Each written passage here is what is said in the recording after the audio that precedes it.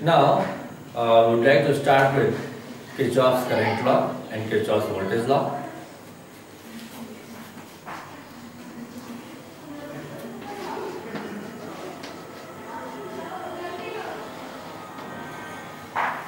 Friends, after several experiments on network analysis, Kirchhoff has given two laws. One of that is Kirchhoff's current law and another is that Kirchhoff's voltage law. Now, let us start with Kirchhoff's current law. This law states that in a particular network at any node, whatever current will be incoming, the same will outgoing. Means the incoming current at any node of a network will be equal to the outgoing current from that node. Now see, if we have some network like this, then this point will correspond a node. Let I1 is current in this particular branch, I2 is current in this branch and IT, I3 is current in this branch. Then for this network you can say that for this node current I1 is coming at this node but I2 and I3 are outgoing current for this particular node. So as per Kirchhoff's current law, incoming current at any node is equal to outgoing current from that node. So from here we can write this equation like I1 is equal to I2 plus I3. This is basically Kirchhoff's current law.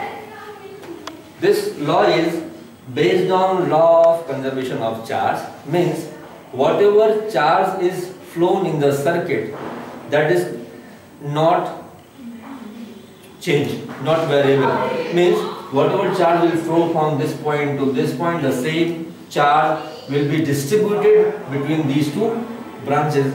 This is law of conservation of charge.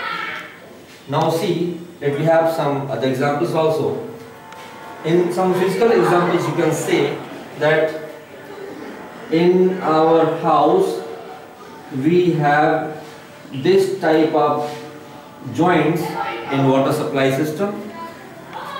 You also you may also have seen this type of joints in your water supply system and see if water inlet from this particular point is this much amount the same amount of water will emerge out from here. So such type of points in electrical network are called junctions where the amount of current will not change. Whatever current will be input to this particular point will be will say will be the output from this particular way. But in this type of connections or points in electrical network are called nodes and for nodes see here if some water is inlet at this particular end that will be distributed at these two ends. That is the amount of water inlet at this particular point or end will be equal to the amount of water outlet from this particular point and from this point. So this is basically KCL. We have two examples, one from water supply system and another for from electrical circuit. Now, let us have some more examples.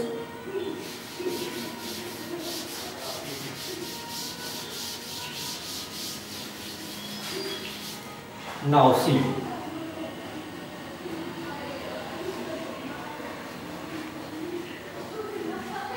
In some literature you may also have seen that Kirchhoff first law is Kirchhoff's current law and according to this law the current at any particular node of a network is zero. If we consider the same statement, now see here, it is I1, this is I2 and this is I3 and from the statement given in different books that is sum of current at any node in a circuit is zero, we can see here I1 plus I2 plus I3 equal to 0. But friends, one point has to be appreciated here. This current, although the, all these I1, I2 and I3 are currents, they are of same nature, but they have some difference. What is the difference between them? I1 is incoming to the node, towards the node and I2 or I3 are outgoing from the node. They have some basic difference in their nature which has to be demonstrated or which has to be considered here. If we consider incoming current as positive and outgoing current as negative, then I1 if I1 is considered positive, then here I1 is positive because it is incoming. I2 and I3 are currents which are outgoing currents. So they may be taken as negative. I2 minus I3 equal to 0.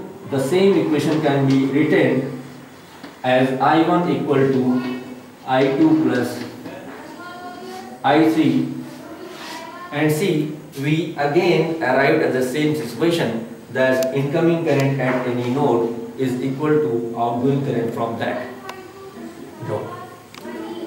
Now let us start with Kirchhoff's voltage law and these two laws are basics of network analysis. All the theorems you will study further that as superposition, Norton theorem, Thevenin theorem, all these theorems are based on these two laws. So this is mandatory requisite for us to learn it carefully. Now see, next one is Kirchhoff voltage law. According to this law, in a closed loop, the resultant voltage is zero. This law can be also stated as whatever voltage will be supplied in the loop, the same will be dropped in the elements available in the loop. Let us have some example here.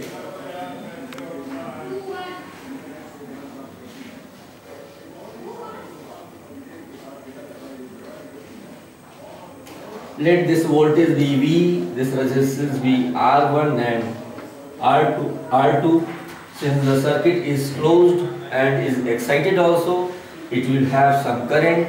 That current may flow clockwise or anti-clockwise, that depends on polarity of the voltage. As you know, from voltage source, the current flows from high potential side to low potential, potential side. So it is very clear that in this say, circuit, current will flow like this. Now one more concept is there.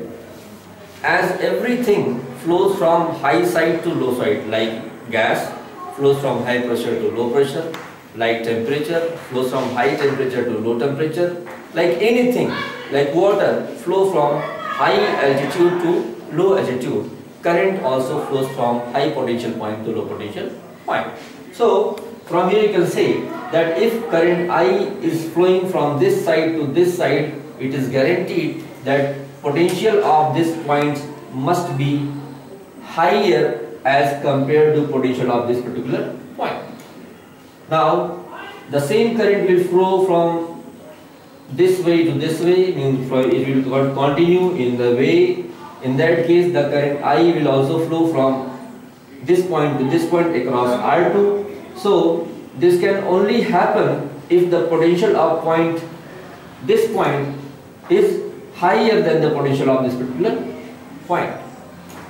And as you know that whenever a current flows from a resistance, it will produce some voltage drop that amounts to be I into R, that is amount of flow of current into resistance. So in this case, I into R1 will be voltage drop in resistance. R1 I into R2 will be voltage drop in resistance.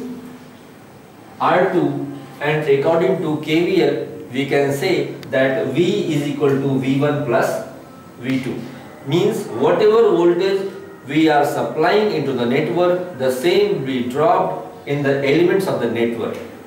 And this equation must be written carefully and for that we have to start with any particular point of this network and we must be moving in any direction whether following the current or you may oppose the current. See, if we start our journey from this particular point and follow the direction of current, follow the direction of current, so we must move from this side to this side. And if we are moving from this particular point to this point, we are crossing this voltage source from low potential point to high potential point. That means we are moving in the direction of rising voltage. So this voltage has to be taken positive. So like this is plus V and again if you are moving from this point to this point this is at high potential, this is at low potential. So we are moving from high potential point to low potential point. That means voltage is being dropped and the voltage drop will be taken as negative. So this negative sign will be put here and what is the amount of voltage drop? Amount of current into amount of resistance that is I into R1. Similarly, when we move from this point to this point, we are again moving from high potential to low potential. Again voltage drop will be there. And again it will be taken as negative. So minus i into r2 now we have completed our journey. There is no other term. So it is equal to 0 and this equation will be finally will be like this v is equal to i r1 plus I R2 and we have learned earlier that I R1 is basically V1 and I R2 is basically V2 so we can say and we arrive this result that the supply voltage is equal to the voltage drop in different elements of network. Now for better understanding, understanding of this particular equation I would like to uh, represent a numerical problem here. Let us have an example, numerical example in this case. Let us have some voltage source of 30 volt and some resistance 5 ohm, 10 ohm and 15 ohm connected in series and forming this particular loop. Then some current will flow in this network. Maybe its direction is clockwise. Let this be. Now applying KVL, we will we can find the current in this network. See, if this current is flowing from this side, means clockwise side, then we can think of that this current will flow from this point to this point. So point potential is high and low and this current will flow in 10 ohm from this point to this point. So potential of this point must be high, this point will be lower. The same current will flow in 15 ohm from this point to this point. So this is higher potential as well lower potential. Now if we are going to write KVL equation for this particular network, you can see here low to high so it is rise of plus 30 volt high to low this is drop of 5 into I high to low again drop of 10 into I high to low again it is voltage drop of 15 into I that is 0 and you will find that 30 is equal to 30 I I is equal to 1 ampere. Now see, if, the, if 1 ampere current will flow in this particular network, then what will be dropped from 5 ohm, 10 ohm and 15 ohm resistors. See, voltage drop, voltage drop in 5 ohm resistor will be I that is 1 ampere into 5 ohm that is 5 volt. Voltage drop in 10 ohm resistor will be let it be V2 equal to I is equal to 1 ampere into 10 ohm that is 10 volt. Voltage drop across 15 ohm let this be V3 and this will be I into R that is 1 into 15 that is 15 volt. Now you can check this 15 volt plus this 10 volt plus this 5 volt. 15 plus 10 that is 25 plus 5 that is 30 and see this is also 30 so from here we are very clear that whatever amount of voltage has been supplied in the network the same has been dropped in different elements of the network. Thank you